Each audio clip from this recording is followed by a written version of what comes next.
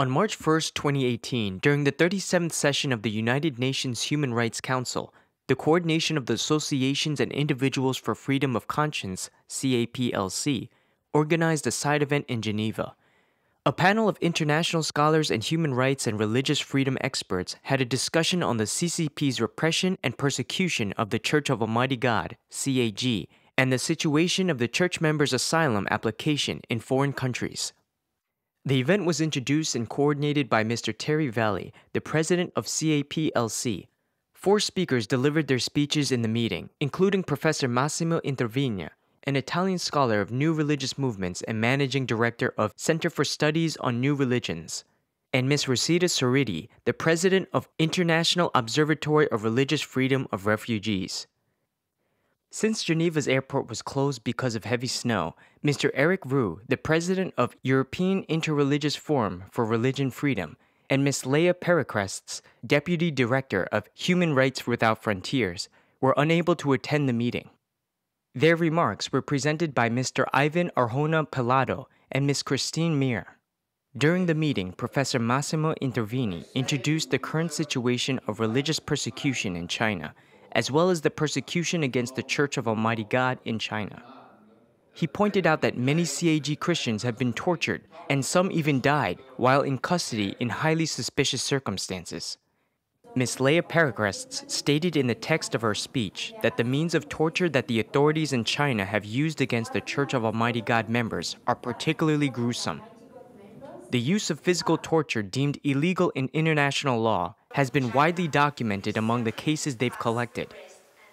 It is learned that the CCP's persecution of the Church of Almighty God has continued to escalate in recent years.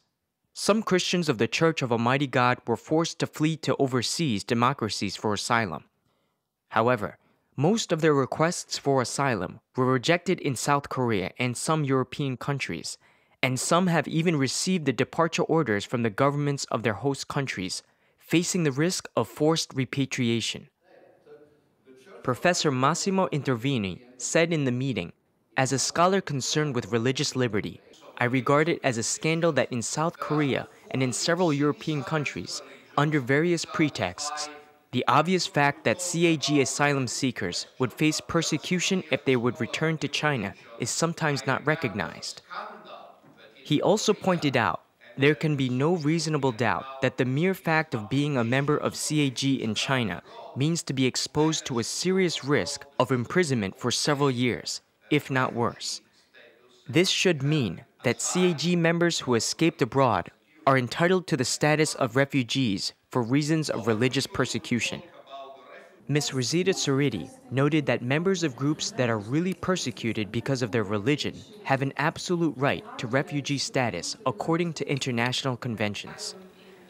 The five principles of interpretation of the Convention relating to the status of refugees and the protocol relating to the status of refugees are binding for Korea and European countries. She said, Refugee boards and courts seem to adopt a restrictive interpretation of persecution. It is not necessary to prove that the asylum seeker has been personally persecuted. Being a member of a persecuted group is enough. Of course, that CAG is a persecuted group in China is obvious. In her view, it should be enough to prove that the asylum seeker is really a member of the CAG and is not simply an economic immigrant.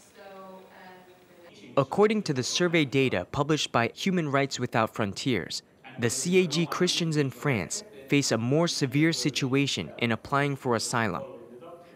As of December 1, 2017, of 412 applicants, 280 Christians were rejected and 103 received the removal orders. In response to this phenomenon, Mr. Eric Roux stated in the text of his speech, in his opinion, it is wrong that an overwhelming percentage of requests have been denied in France.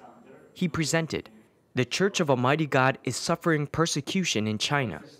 There is no doubt that its members face a real and immediate risk of being sent to jail based on their religious affiliation if sent back to China, where thousands of them have been tortured and at least 30 members lost their life in jail. Mr. Eric Roux also pointed out that the decisions regarding the asylum seekers made by the French authorities should be taken with a real knowledge of the Church based on in depth studies, not on Chinese anti cult propaganda or journalists who merely repeat it.